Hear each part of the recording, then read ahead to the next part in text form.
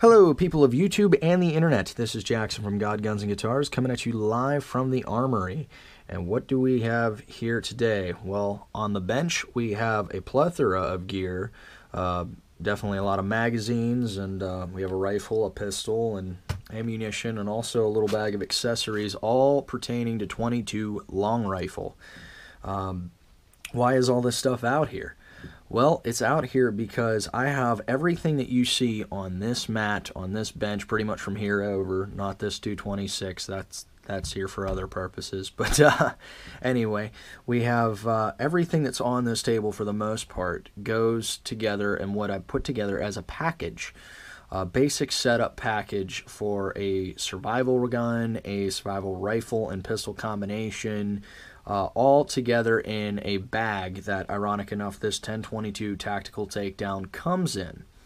Uh, this is just how I have my bag set up and why I think it's a great uh, package to be thrown together, and uh, some of the gear that I use and recommend running with this package, and, and why I choose it over some of the other stuff. So we'll just get started and dive right in. We're going to start with these magazines. Uh, everything I have here, magazine wise, are Ruger branded magazines. Now, interesting enough, we have six of the BX 25 magazines by Ruger. And um, these things are, I, I love these magazines. I think these are probably the best 25 round banana style magazines that you can get for a 1022. I have not had an issue with any of these Ruger branded magazines that weren't attributed to user error or just carelessness on my part to clean the magazines, which is funny because of how easy it is to clean these things. Uh, all of them are loaded. I carry uh, CCI mini mags inside of my magazines, uh, my standard magazines anyway, just to uh, get started. But if you ever have a problem and want to clean these things uh, and don't have an ultrasonic or don't feel like taking your magazine apart, cool thing about these guys, you put them in your dishwasher. Of course, make sure they're unloaded before you do that. But uh, yeah, you can just toss them in the dishwasher and it'll clean them for you. Cool enough. But uh, I also have some 15 rounders here. They're pretty self-explanatory. Same as the uh, 25 rounders, but just, of course, 15 rounds. Um, next, we have these BX 25 times 2 uh, magazines, which they're very interesting. Um, all they are are just two 25 round magazines, but they're molded together. So in a way, it's a 50 round, but it shoots 25 at a time. They're just molded together upside down and they come with these little sleeve protectors for the lower end or the lower end of the magazine. And the theory is, of course, you shoot your 25 rounds, you run out of ammunition, you release the magazine, spin it upside down, and of course, then you got 25 more. Away you go. But uh, carry two of those, of course. We got six of the BX25 ma uh, magazines. We have two of the 15 uh, BX15s, and then two of the BX25 times 2s. And then, of course, which comes stock with every one of your 1022s that are sold for the most part, you have your standard BX25, or excuse me, your BX 10 round magazine. But um, they pretty much come with any 1022 you get, with the exception of if you get some sort of exclusive package or something. Sometimes I've seen them shipped with uh, your 25 rounders, and in some cases, even a 15. But um, you will, nine times out of ten, get a 10 round magazine with your 1022. But, uh, I also have two extra magazines for this pistol over here. This is a SR22 pistol. Very, very good gun. Uh, very similar to a Walther P22. Uh, definitely designed off of the P22. A couple added features. It's a, now a lot easier to disassemble uh, it's a little bit more ergonomically friendly, which is surprising um, that we beat the Germans on that. Not that Ruger isn't, uh, Sturm Ruger isn't a German company. They are U.S. made, and they are, of course, um, designed in the U.S. as well. But uh, yeah, they, they're 10 round magazines. You can mod the magazines to fit more rounds in them, but these things are just really cool. The thing's super accurate, and on this one, the safety acts as a decocker, which I really dig. So that's that's just kind of a cool factor. You get a dead trigger if you don't have your safety on, and then you also have a dead trigger um, which, which stays dead if you don't have the magazine in the gun, which some people don't like, some people do like, but cool factor uh, if you're just training somebody to shoot this is a great little pistol to do so and it's extremely accurate just like the walther it is a fixed barreled gun.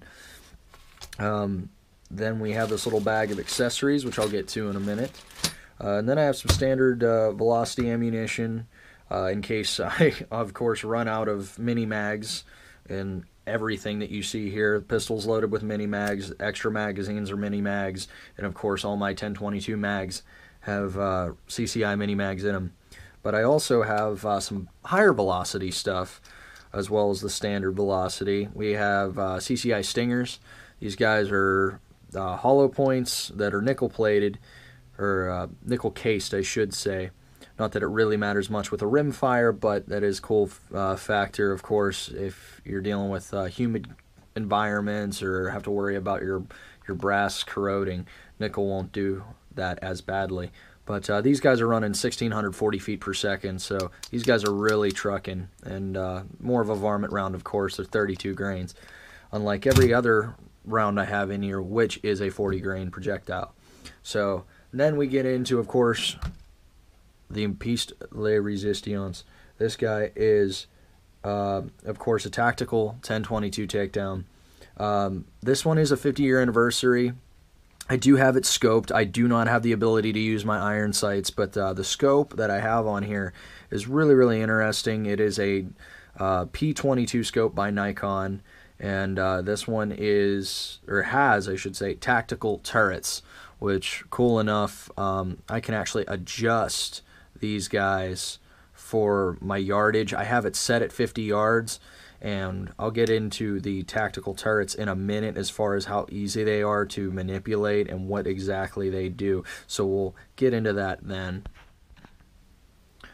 Okay everyone, we cleared some space on the bench so we could focus a little bit more on the rifle.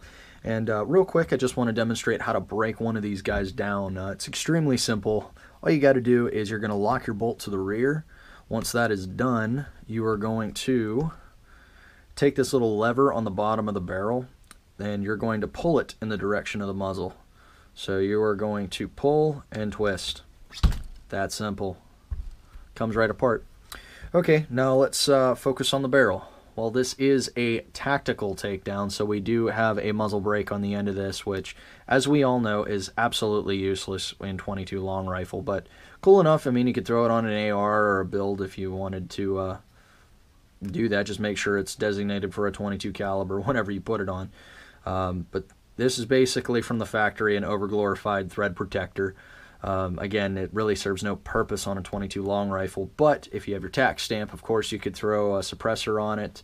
Um, you could throw a compensator on it. You could do whatever you want. You have threads underneath here, so world is your oyster, right? Anyway, so you also have a LaserMax 1022 laser. Now this guy I put on aftermarket. Um, it is extremely bright. I was really really happy with it. And uh, one thing to note: these guys are sighted in mandatory at 25 yards at the factory. They recommend that you don't play with it too much and just kind of leave it at 25 yards. You can take it out to 50. You can do whatever you want with it, but um, that, that's pretty much what I have this one set for. Is is set right at 25 yards. Um, also on here you do have Picatinny rails so you'd have the ability to put something on either side here which uh, because these rails are made out of plastic I don't recommend putting anything attributed to accuracy on here.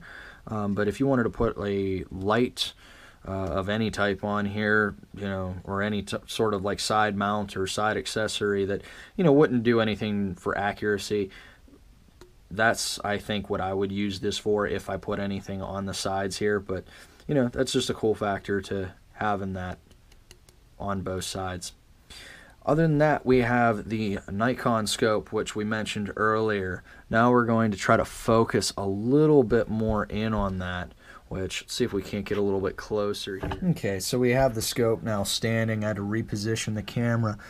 Uh, the rifle's just kind of sitting upward, so I'm trying not to bump the table at all. But uh, let's take a look at some of these turrets. Now, on that, if I can get it to focus, these tactical turrets are rated for different velocities. And uh, the reason I say turrets is because I actually have more in this bag of goodies that I have here, uh, which what I do carry this with all the accessories uh, for the rifle and the pistol.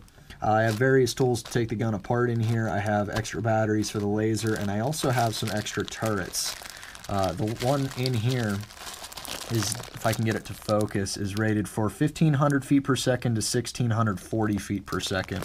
So if you're using different velocity ammunition, of course, you could take it a little bit further um, with that turret and it'll be just as accurate as if you're shooting some of the low velocity stuff with this turret, which this guy is designated for 1200 feet per second to 1300 feet per second. And uh, one click uh, for each of these turrets equals a quarter inch at 50 yards. So that's something to note. The most uh, scopes are designated one clip is a quarter inch at 100 yards. These guys are for 50. Now let's take a look at the tactical. What's so tactical about uh, these turrets? You know, what's the tactical aspect? Uh, these guys, I have mine set at 50 yards, and uh, if I wanted to say go to 100 yards, all I'd have to do is bend this guy and hear it click all the way to 100. Now it will be on at 100 yards. And as crazy as that sounds, it actually is dead on accurate. I did not expect to be able to hit steel plates or six inch steel plates at 100 yards, you know, with this thing really just being, you know, fairly on at 50 yards. I didn't expect it to be that perfect. You know, these turrets really, really, really are worth it and worth the extra money. Uh, I'm paying for the scope. Uh, they do go all the way to 150 yards, which, um, of course, I don't need to take a 22 long rifle out that far, but you do have the option of doing so, which is cool. Of course, I'm going to set mine back to 50, but the other neat thing is if I wanted to change this and have it set for 100, or say I wanted to sight it in at 100, I could set my turret there, of course, and sight it in where it's dead on at 100 and lift up and spin, and it's not going to affect the actual settings of this scope. So say I'm at 50 yards and it's not on at like 100 or 75 or so. Say I want to shoot it in for 75, so I get it sighted in at 75. I simply pull up on the turret, turn it, and set it down, and now I'm on 75. Say now I want to shoot at 50 yards, I just spin it to the 50 yard mark. Interesting how, how, how accurate this thing is. Uh, for the money, I think I paid 150-ish bucks for this scope. Now, uh, that was a while ago. I'm not sure if this one is still in production. This is the P22 scope by Nikon, but they, they have done some various things to change uh, the, the name of some of their scopes, and it's basically the same thing with better glass. So they discontinue a lot of old models and then bring them back. But um, that's that's the tactical turrets anyway. Okay, everyone, just to kind of reference what we were talking about earlier by a basic package setup, is uh, whenever you buy one of these 1022 takedown rifles, they come 99.9% of the time in these tactical style bags, which uh, you could fit a lot of gear on. In fact, everything that I had on this bench earlier is currently inside of this bag, and that is a lot of excess gear. Uh, and I mean everything magazines, pistols in the top pouch. Uh, you got six of the BX25 rounders in here, and then of course if you open it up, you have uh, my barrel in here. You got your um, magazines, and then also the receiver with a scope on it in the um, larger pouch, uh, which not all scopes will fit in this bag uh, on the rifle. You do have to find and play around a little bit with the science of that, of what you can fit on your lower receiver to make it still fit in this bag, but you definitely still can uh, fit a scoped receiver inside of the bag. This is obviously proof. But uh, as always, it pretty much concludes today's video of backpack and survival guns and, and, stuff like that. I highly recommend if you don't have one of these things, get one because they're super fun. They're really accurate and you can use them for just about any purpose known to man. Uh, like I said, mine's pretty much a trunk gun and, and you know a SHTF scenario gun and uh, awesome survival rifle. But as always, like and subscribe. Uh, love to hear your comments. And of course, as always, long live this country, long live our republic, and in the name of Ronnie James Dio and Ruger Rifles, long live rock and roll. All right, guys. Thanks again. God bless.